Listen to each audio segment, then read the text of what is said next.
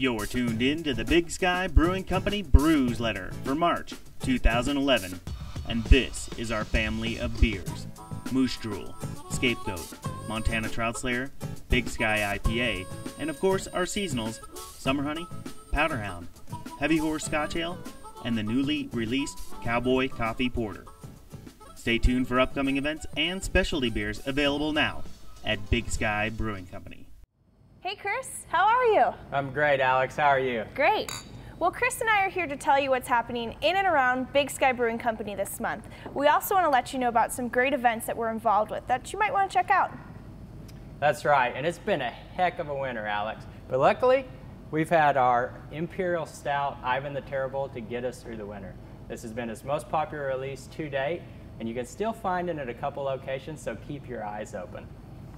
Also, this spring, due to popular demand in the fall, we're bringing back Heavy Horse. People said, bring back that beer, bring back that beer, and we are.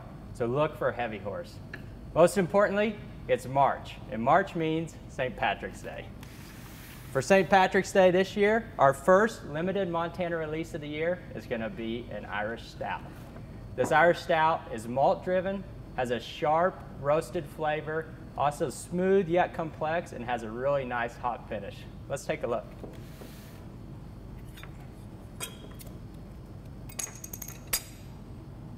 Kelly Hump.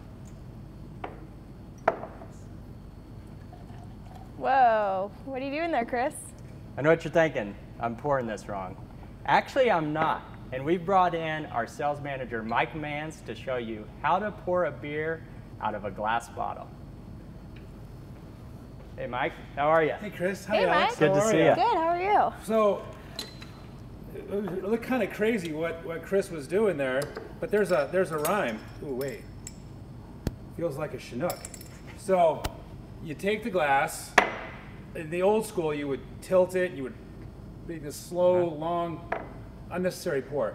You want to create a, a rich, dense, rocky head mm-hmm. that melts back into your beer. As those small bubbles pop, a good beer does take time to pour. As those small beer, as those small bubbles pop, it releases the aroma uh, of the of the hops and the barley uh, back into your palate. You know, a, a lot of how you taste a beer is olfactory driven. So it's it's a lot of uh, retronasal uh, aroma, uh, scent driven aspect that ma- makes up the, the flavor of a great tasting beer. And look how creamy and rich and, and hmm. dense that beer is.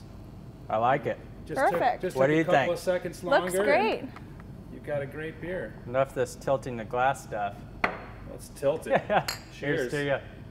Stay tuned for a word from our sponsors.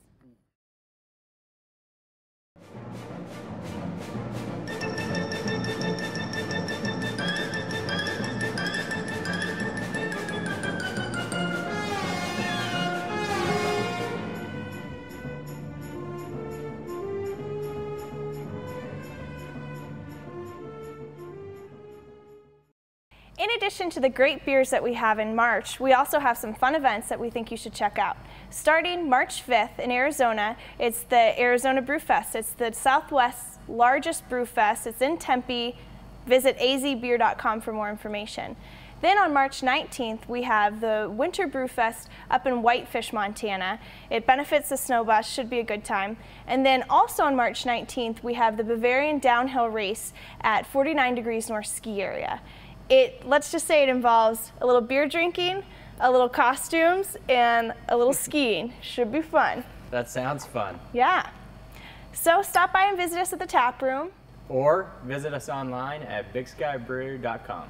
Cheers. Cheers.